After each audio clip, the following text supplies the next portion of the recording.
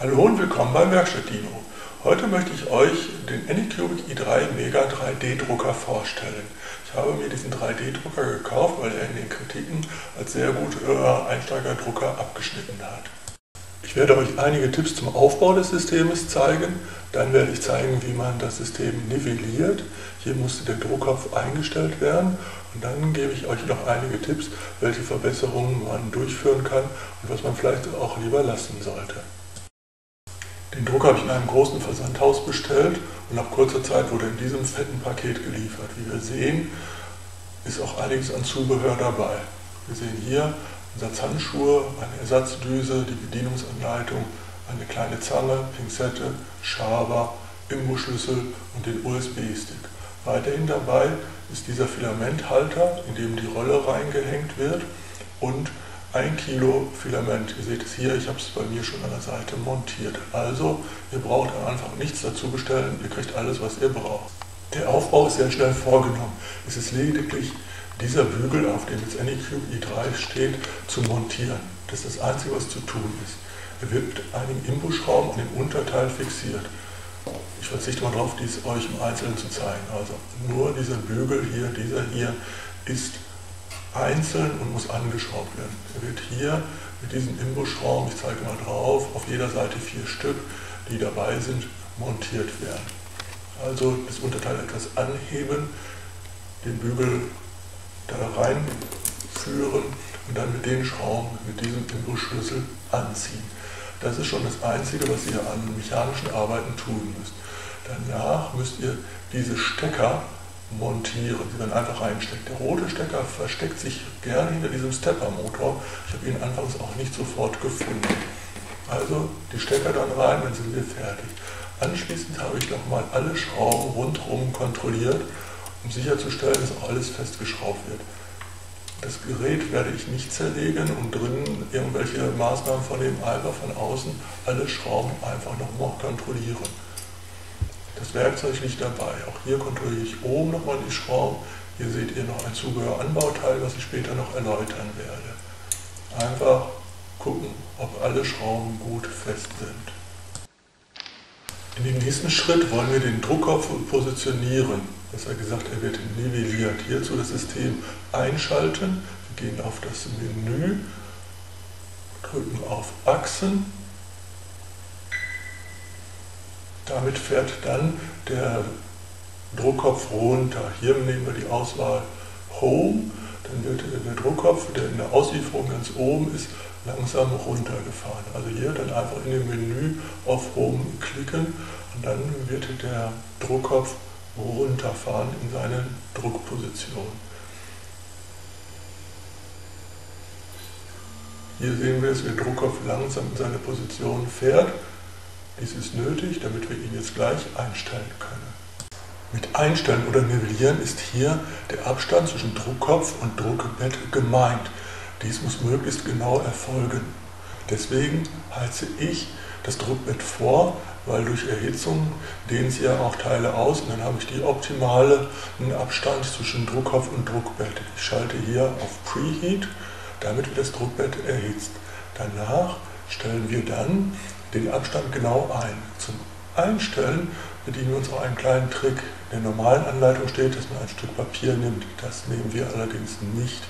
Wir verwenden hier eine Quittung von einem Thermodrucker, eine Quittung, wie wir sie normal in jedem Laden bekommen. Und damit stellen wir es genau ein.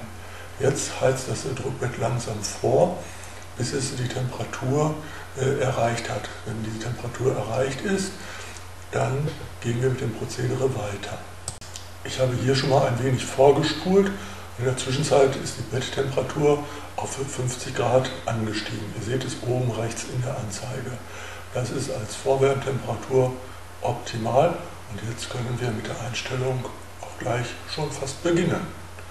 Da wir für die Einstellung den Motor bewegen müssen, müssen wir zuerst den Motoren abschalten. Also gehen wir auf Setup und dort auf Motor Off. Hiermit schalten wir die Motoren ab und können dann die Motoren von der Hand bewegen. Das ist wichtig, damit nichts zerstört wird. Da ich ja die Motoren abgeschaltet habe, kann ich jetzt auch den Druckkopf hin und her fahren. Normal würde er jetzt links in seiner Home-Position stehen. Um es euch besser zeigen zu können, habe ich ihn nach rechts geschoben. Den Druckkopf könnt ihr einfach mit der Hand rüberschieben. Nachdem ich den Druckkopf jetzt rübergeschoben habe, seht ihr auch darunter gut die Wendelschraube. Ich nehme jetzt ein Quittungsblatt, das was ich vorher angesprochen habe. Dies lege ich zwischen Druckbett und Druckkopf und versuche es dazwischen zu fädeln. Dieses Druckpapier ist sehr dünn, etwas dünner als normales Papier. Damit bekomme ich einen optimalen Abstand eingestellt. Das ist wichtig, damit der Drucker nachher sehr gut arbeitet. Hier machen viele wirklich, glaube ich, schon den ersten Fehler. Also wie ihr seht, die Quittung hier eingeführt und jetzt wird mit dem Rennrad unten die Höhe eingestellt. Das ist ein bisschen knifflig, das Rad ist etwas schlecht angebracht und ein bisschen klein. Aber diese Arbeit macht man ja auch nicht allzu oft. Also jetzt so einstellen, dass das Papier sich langsam durchziehen lässt. Diese Arbeit führt ihr an allen vier Ecken durch und danach das Ganze nochmal, um zu sehen, dass es wirklich überall optimal liegt. Damit erhaltet ihr einen optimalen Abstand zwischen Druckkopf und Druckbett. Dies ist, wie gerade schon gesagt, wichtig, um ein gutes Druckergebnis zu erzielen. Jetzt müssen wir noch das Filament, also das Druckmaterial, einführen. Dies wurde mitgeliefert. Wir haben ein Kilo PLA Druckmaterial.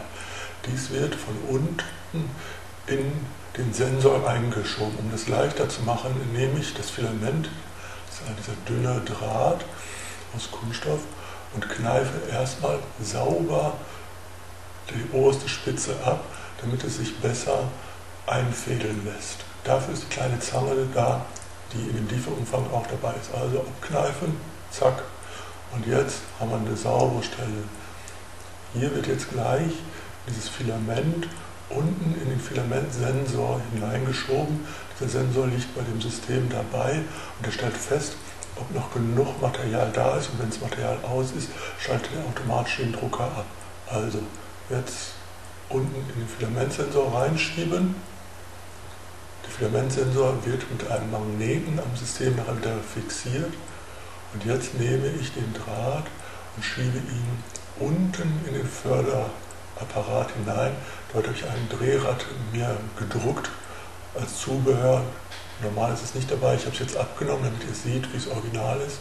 Jetzt drückt ihr die zwei Klammern zusammen, also jetzt den Draht von unten reinschieben, dann die Klammer hochdrücken, damit wird der Motor quasi freigegeben und jetzt kann man das Filament ganz sauber einführen. Dies ist auch gut jetzt erst zu machen. Im Auslieferungszustand ist der Druckkopf ganz oben und dann klemmt die Führung von Filament etwas ein. Da kann man es nicht so gut reinschieben. Ihr schiebt jetzt das Filament bis zum Anschlag vor. Dies kann man auch per Motor mit dem System machen, aber hier einfach drücken, um den Motor freizugeben und das Filament sauber hineinschieben bis zum Anschlag, dann steht er vor der Düse vor. Damit werden jetzt aber auch die Vorbereitungen endlich abgeschlossen und wir können gleich loslegen. Die Daten, was der Drucker drucken soll, erhält er über eine Chipkarte. Die ist im Lieferumfang mit dabei. Diese Chipkarte wird auf der rechten Seite in den Schlitz des Druckers hineingeschoben, die Kontakte nach oben. Auf der Chipkarte sind die ersten Druckdaten drauf. Das sind diese zwei Eulen, die vielleicht ihr schon mal gesehen habt. Also die Chipkarte hineinschieben kontrollieren, ob sie drin ist und das war es dann auch schon. Jetzt wechseln wir wieder äh, zu dem Bedienmenü. Wir gehen hier auf den Schritt zurück, wählen dann Print aus und dann zeigt er uns an, welche Dateien zum Drucken da sind. Hier habe ich jetzt etwas anderes gedruckt. Bei euch wird da angezeigt, was ihr drucken könnt. Ihr drückt drauf, dann wird es rot hinterlegt. Dann braucht ihr nur noch auf Print zu gehen und der äh, Druck wird dann gestartet. Bevor der Drucker mit dem Druck startet, muss das System die richtige Temperatur haben. Das ist zum einen die Druckdüse und das Druckbett. Wir haben ja hier schon zur Einstellung vorgeheizt, also dauert es jetzt nicht mehr ganz so lange. Ihr seht auf der rechten Seite, die Betttemperatur ist bei 51 Grad und wird jetzt langsam erhöht. Sobald er die Temperatur erreicht hat, beginnt er auch mit dem Druck. Da der Drucker jetzt die Temperatur erreicht hat, startet er automatisch. Er fährt den Kopf auf die richtige Höhe und fährt dann das äh, Druckbett etwas vor. Hier seht ihr noch, wie der Drucker sich selbst einstellt. Und jetzt startet er, sucht sich seinen Punkt und als erstes legt er rundherum um das zu druckende Objekt eine Schicht. Damit äh, drückt er das alte Druckmaterial noch aus der Düse oder dass eben das richtige Druckmaterial in der Düse ansteht. Dafür wird rundherum ein Kranz gedruckt und dann fängt er mit dem Druck an. Jetzt werdet ihr einige Zeit verbringen können, bis der Druck fertig ist. Ich empfehle auch, wenn er mit dem Druck durch ist, das Material nicht sofort abzunehmen, sondern zu warten, bis das Druckbett abgekühlt ist. Dann könnt ihr die Teile sehr leicht mit der Hand abnehmen.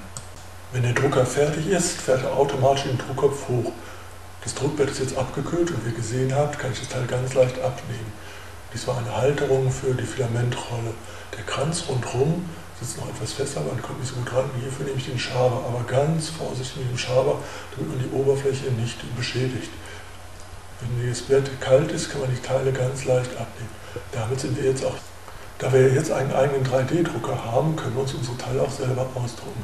Hier habe ich ein Drehrad ausgedruckt, was auf den Filamentmotor kommt, um das Filament vorzuschieben. Weiterhin habe ich eine kleine Druckschale ausgedruckt, in der wir das Werkzeug schön ordentlich aufhängen können. Dies kommt oben an den Rahmen. Als nächstes habe ich eine Halterung ausgedruckt, die oben an den Druckkopf kommt und das Kabel ein wenig nach hinten hält. Dadurch wird das Kabel etwas nach hinten gezogen und klemmt nicht oben unter dem Bügel. Das wäre es auch schon an den Dingen, die ich mir als erstes ausdrucken würde. Die Dateien für diese Teile findet ihr im Internet. Dort gibt es ganze Bibliotheken mit Zubehörteilen. Ich werde euch unter das Video noch den Link dazu anheften, damit ihr die Teile auch direkt finden könnt. Um das Filament, also die Druckrollen, vernünftig unterbringen zu können, habe ich mir Halter selber gedruckt. Die habe ich an einen kleinen Wagen geschraubt. So hat der Drucker auch einen schönen Platz. Ich kann ihn, wenn ich ihn brauche, rausziehen, die ganzen Utensilien in die Schubladen packen und auf der Seite habe ich meine Druckrollen in unterschiedlichen Farben und unterschiedlichen Material. Hiermit ist dann mein Projekt auch erstmal abgeschlossen. Ich hoffe, dieser Beitrag hat euch gefallen und ihr schaltet mal wieder bei mir rein. Ich werde natürlich noch weitere Anleitungen geben, was man mit diesem Drucker so alles machen kann. Also bis dahin, vielen Dank und tschüss, euer Werkstatt Dino.